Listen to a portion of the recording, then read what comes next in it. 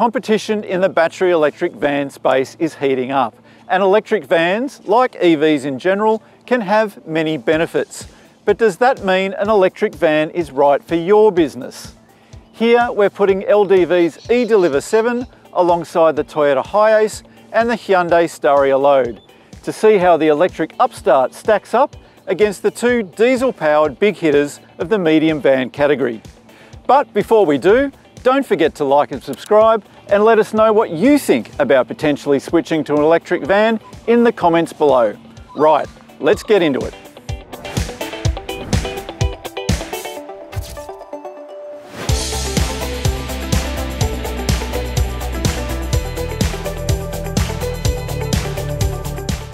Now this isn't a direct head-to-head -head comparison, as here we have the flagship LDV eDeliver 7 in a long wheelbase high roof format with 88 kilowatt hour battery, alongside a fleet spec Toyota HiAce with barn door option and Hyundai's premium grade Staria Load with prestige paint. And so while the LDV has a mid 60k starting price, this particular variant actually commands a significant premium over both the Toyota and the Hyundai but the sticker price is just one aspect of a commercial vehicle's total cost of ownership, so let's dig a little deeper. The LDV and the Toyota are an even match for factory warranty for commercial use, with both adding an extra 30,000 kilometres over the Hyundai. However, the LDV is streets ahead of both when it comes to service intervals and ongoing servicing costs.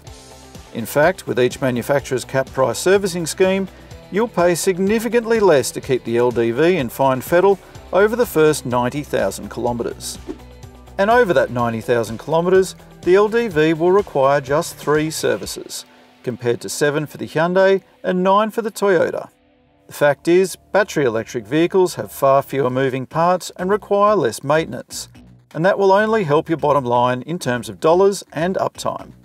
Each of the four LDV variants on offer has full LED lighting, front and rear fog lights, a single sliding side door, and 50-50 barn doors at the rear. The Toyota, meanwhile, is the shortest of the two wheelbases on offer, and this barn door variant only became available recently.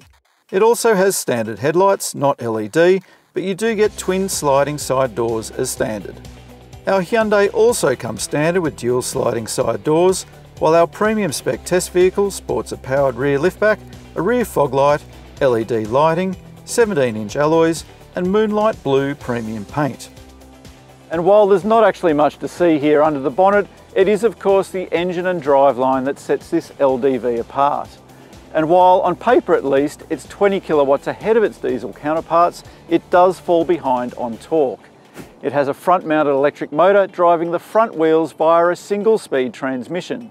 And here it's hooked up to LDV's long range 88 kilowatt hour battery, a 77 kilowatt hour battery is also available. Our two rivals sport typical four-cylinder turbo diesels, with the Toyota's 2.8 litre unit driving the rear wheels via a six-speed auto and the Hyundai's 2.2 litre oiler driving the front wheels via an 8-speed auto. There's no A-pillar grab handle to help you up into the LDV, but once you're behind the wheel, the cab offers a pleasing mix of utilitarian durability and driver comfort and convenience features. There's no digital speedo, but it does have the largest touchscreen multimedia unit of the three. The hard plastics are softened with different tones and textures, piano black and silver trim, and there's a soft touch finish on the door sills. It's manual adjustment for the driver's seat, which is the highest of the three and requires a bit of a step up. And the steering wheel is only adjustable for tilt, not reach, although we appreciate the adjustable armrest. There are several storage options, including cubbies for smartphones near each of the two USB-A charge points, but no wireless charging, and there's more room under the seating, where you'll also find a Type 2 AC charge cable. Despite the large infotainment touchscreen and the central Digi instrument display, there aren't actually masses of functions available. The battery charge indicator is quite small, but all the essential information is there and it's all easy enough to access. We like the electronic park brake, the steering wheel and seat heating, and the keyless entry and push button starting. There's also wired Apple CarPlay or Android Auto, but no integrated sat-nav. And parking is easy thanks to front and rear parking sensors and a crisp reversing camera display with predictive guides, although there's no 360 degree view. This latest HiAce generation may already be five years old, but it ticks most of the boxes for an LCV and it's a proven and dependable entity. All the plastics fit together nicely and it's a very easy dash to navigate. The cab is capped off with a leather accented multifunction steering wheel and we like the electric lumbar support in the driver's seat, along with the overhead and A-pillar grab handles that aid entry on both sides of the cab. The Toyota's cab storage would be relatively modest were it not for the handy centre console unit. Although while there are a couple of trays, there's no dedicated spot for a smartphone and no wireless charging. There's no concealed dashtop storage either, but the compact glove box is lockable. Compared to the LDV and the Hyundai, the tech in the Toyota is starting to look a little dated. The touchscreen is more compact and the resolution isn't quite as crisp as in the others, but it's all easy enough to use while starting is via an old school keyed ignition. There's wired Apple CarPlay and Android Auto, but there's only the one USB-A port, although it is complemented by two 12 volt sockets. But the reversing camera display is relatively small and low res by today's standards, and it only has fixed rather than predictive guides. The Hyundai's cab is lower and it's easier to slide into. You sit more in this cab than up high like you do in the LDV and to a slightly lesser extent the Toyota. Inside there's an expanse of dark plastics, but the large infotainment screen and the fully digital instrumentation lend it a thoroughly modern feel. Everything fits together nicely and this two-seater perhaps feels a little more spacious because it doesn't have a centre console like the Toyota or seating for three like the LDV. The Hyundai has overhead shelves and two small concealed dashtop trays in addition to its glove box. And the triple deck door pockets are useful too, and you can always store more gear between the seating. The Hyundai's touchscreen is smaller than the LDV's, but it's bigger than the Toyota's and it's a sharp display. Add in the full digital instrumentation and this cab looks bang up to date. It also has wired Apple CarPlay and Android Auto, along with integrated sat-nav. It's the only van to have wireless smartphone charging and, like the LDV, it has keyless entry and push-button starting. Reversing is a breeze thanks to the sensors, 360 degree view and the super crisp display. And we like this premium van's blind spot view monitor too, which shows a camera view down the side of the van when turning or changing lanes. All three of these vans are comfy mobile offices, but we're giving the Hyundai a slight edge here over the LDV with the Toyota close behind. Both the LDV and the Hyundai lean more towards car-like refinement and features, while the Toyota is perhaps just a little more utilitarian but highly functional nonetheless. All three fare well for safety features, although the LDV hasn't been assessed by ANCAP and the others scored their 5-star ANCAP ratings some years back, in 2019 for the Toyota and 2021 for the Hyundai. But it's the Hyundai that ticks the most boxes for its modern active safety systems, with the Toyota lacking items like adaptive cruise control and, like with the LDV, a 360 degree camera. But the LDV has a long list of safety features too. And LDV Australia says it's seeking to have ANCAP assess the van in the not too distant future. Our long wheelbase high roof LDV has a load volume of 8.7 cubic metres. As mentioned, it comes with barn doors at the rear, but just the one sliding side door. And it actually has the highest load floor height of the trio at 670 millimetres. We've loaded all three of our test vans up with a 325 kilo test weight, which will remain in place for the duration of this three day review. There's no bulkhead, but it comes with a synthetic floor liner and mid-height wall protection, as well as a bright LED light and eight sturdy and recessed tie-down anchor points. The Toyota's load bay is another basic Spartan affair, but as with the LDV, the rear barn doors make forklift loading easy. The load floor height is mid-pack here at 640 millimetres and we should point out that all three of these vans will happily accept a standard Aussie pallet between their wheel arches. It's a bare steel floor but you do get mid-height wall protection, a couple of standard lights, six small tie-down points and nice low side steps, but no bulkhead. The mesh cargo barrier in the Hyundai isn't standard either, but the load bay floor liner is and you get eight chunky tie-down anchor points along with dual sliding side doors and, in this premium variant, a powered liftback tailgate. The liftback requires more clearance but there's a smart remote opening and closing feature, while the load floor height is the lowest of the trio at 600 millimeters. And while we're not tackling any towing in this review, we can tell you the Hyundai has a claimed 2,500 kilo braked towing limit versus 1,500 kilos for the LDV and the Toyota. Although the LDV does have the lowest gross combined mass limit of the trio. But that's enough of the details. Let's jump behind the wheel and see how these workhorses actually drive.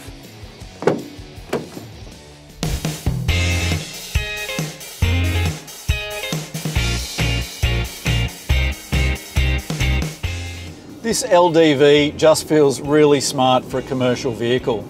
The cab is attractive by LCV standards, the seating is comfy, vision is generally good, it's got plenty of zip, and it's quiet. It's the only one here to have a column mounted shifter and there are Eco, Normal and Power drive modes. But even Eco gives good acceleration and Power is positively swift. As for gripes, well, let's say the LDV isn't totally without its foibles. There's no dead pedal for an idle left foot.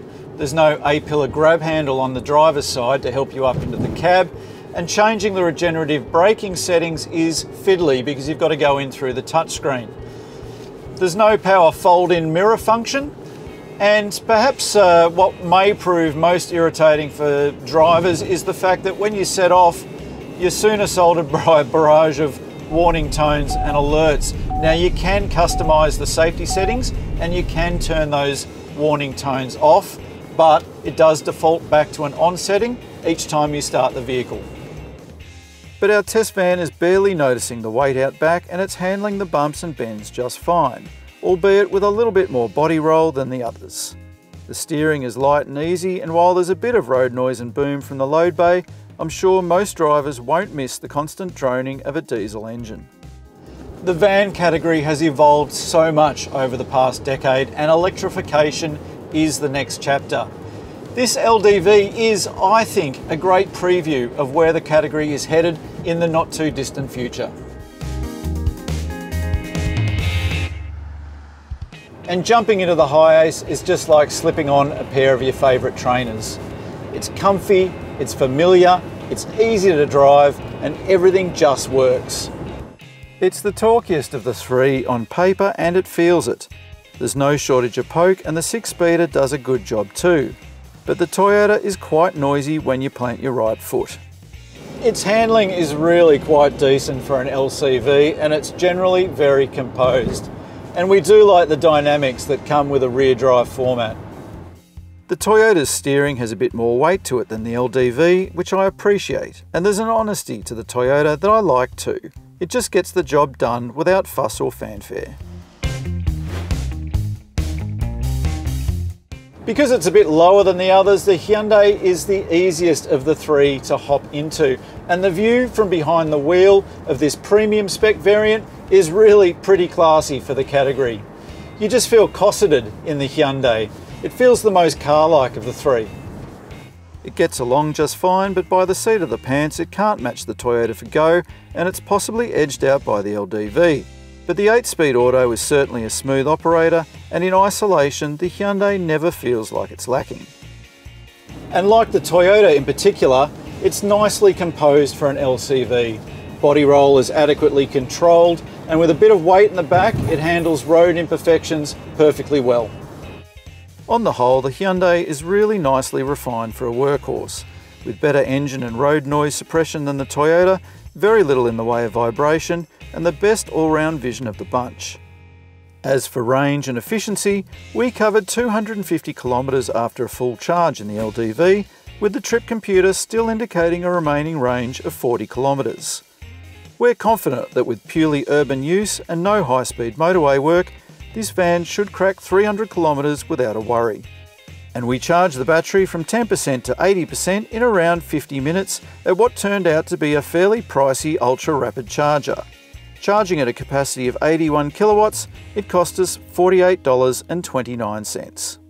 Yes, utilising high capacity public DC fast chargers can be costly, but smart businesses with their own charging infrastructure will utilise off peak tariffs and overnight charging to lower charge costs appreciably, potentially enhanced by their own solar and battery storage. If the eDeliver 7's daily range suits your business requirements, applications like repeatable runs, or where there is a known maximum daily mileage, the cost savings of electricity over diesel can quickly add up. Of course, telling the fuel usage for diesel is far simpler. On this test, our Toyota averaged 9.8 litres per 100 kilometres, while the Hyundai averaged 7.5 litres per 100 kilometres for safe working ranges of over 600 and 900 kilometres respectively. The medium van category is ripe for electrification and this LDV eDeliver 7 is part of an electric spearhead that will soon see more options reach our shores. But right now, in mid-2024, this model is the most affordable battery electric medium van in the market. Both the Toyota and the Hyundai are proven entities that work and work hard. But diesel is costly and fossil fuels won't help businesses trying to clean up their act. The LDV eDeliver 7, on the other hand, is also a genuinely capable workhorse, but it's a true pleasure to drive and it comes with plenty of handy features. However, with reduced servicing costs and service downtime, the potential for cost-effective charging and a decent factory warranty and backup the LDV eDeliver 7 stacks up well for businesses keen to clean up their emissions and explore the potential of the electric transport transition. If that sounds like your business, this electric van is well worth further investigation. Thanks for watching. If you like this video, don't forget to like and subscribe and let us know what you think of the LDV eDeliver 7 and electric vans in general in the comments below.